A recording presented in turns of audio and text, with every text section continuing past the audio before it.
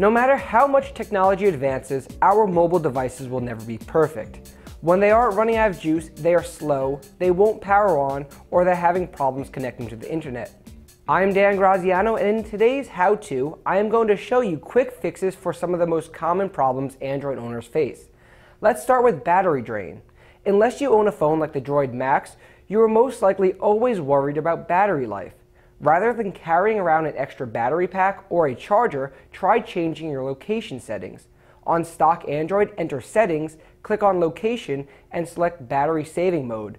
As for brightness, you should avoid using auto brightness and instead turn your screen down somewhere below halfway or to a level that's acceptable for your eyes. You should also try to avoid those gimmicky live wallpapers. All they will do is slow down your phone and drain your battery. How about those times where your device is running slow or even freezing? Phones typically begin to slow down as their internal storage fills up. Try deleting unused apps and old photos or moving them to services like Google Drive or Dropbox. If your device has one, try moving apps and photos to a microSD card.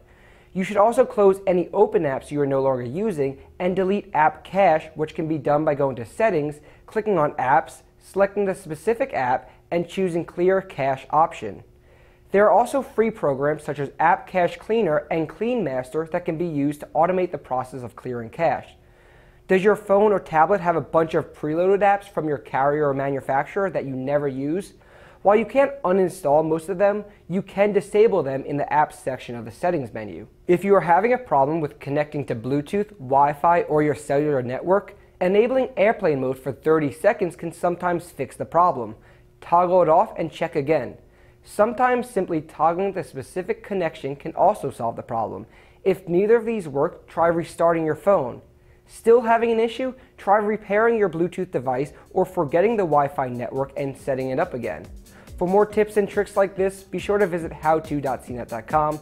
You can also reach out to me on Twitter with any questions or comments. I'm Dan Graziano for CNET. Thanks for watching.